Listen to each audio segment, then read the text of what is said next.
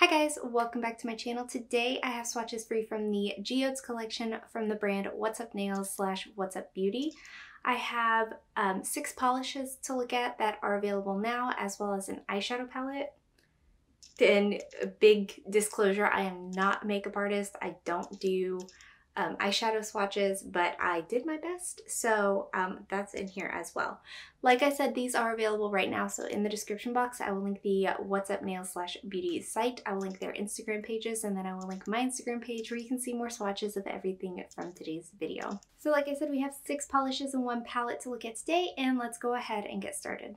So first we have Rhodonite, and this one is a pink leaning kind of terracotta color, and it does dry to a matte finish. So here's our first coat of Rhodonite, and this one does cover pretty much completely in one coat, but with matte finishes, I do like to make sure it is 100% covered, so I am going to go in for two. Also with the matte finish, you are going to notice any little imperfection on your nails, so be sure to use a good base coat. This does dry down decently fast, but not too quick, and removal is easy, so here it is at its matte finish.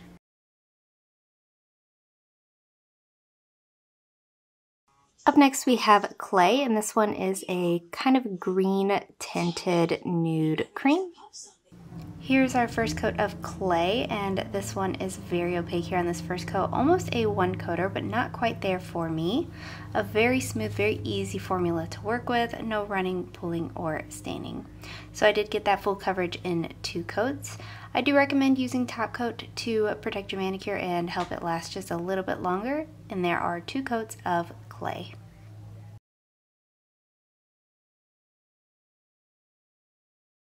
Up next we have Agate and this one is a copper and it does go have this shifty shimmer that goes from a pink to a purpley red kind of color and then all the way into a gold.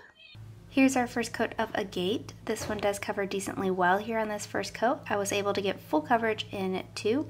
Depending on your application, you might end up needing three, but again, a wonderful formula to work with. I didn't have any texture when this dried down and I didn't have any problems with the sticking to my nail when I removed. However, it did stick to the skin a little bit and there are two coats.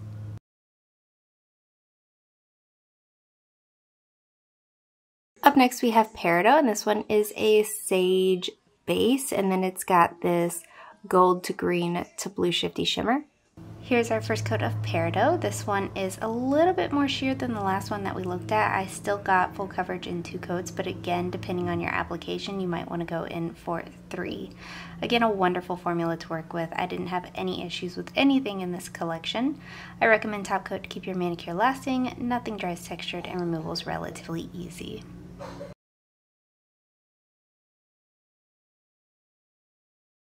Next we have Earthlike and this is called a gem encrusted um, nail polish but this one is a kind of reddy brown base and it's got these tiny little silver blue micro flakes in there.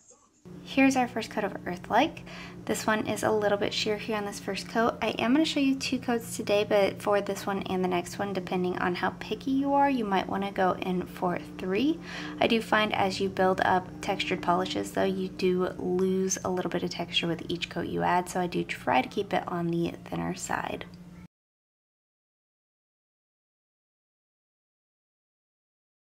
And lastly for today we have Crystal and this one is also one of those gem encrusted ones. This is a, another earthy tone and the little crystal quote pieces in there are a red and blue.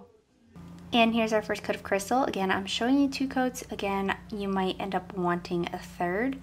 With these two textured polishes, you can add top coat like I did to hide the texture of them or um, keep them matte and textured.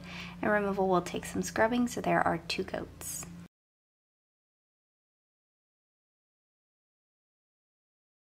And here's just a quick look at each of the eyeshadows. This first one is a matte and it's rock.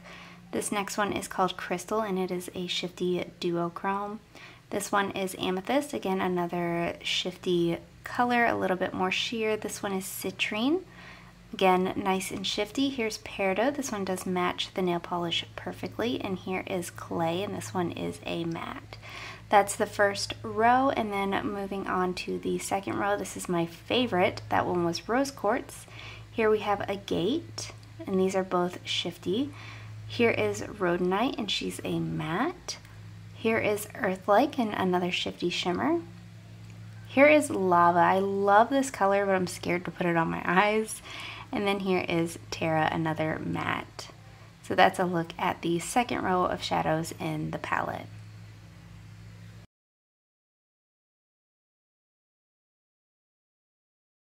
And guys, that is it. Let me know in the comments what you thought of these polishes. Let me know if you plan on picking any of them up or the palette. And let me know what your favorite was. Give this video a thumbs up if you liked it. Subscribe if you'd like to see more from me. And I will talk to you again next time. Bye.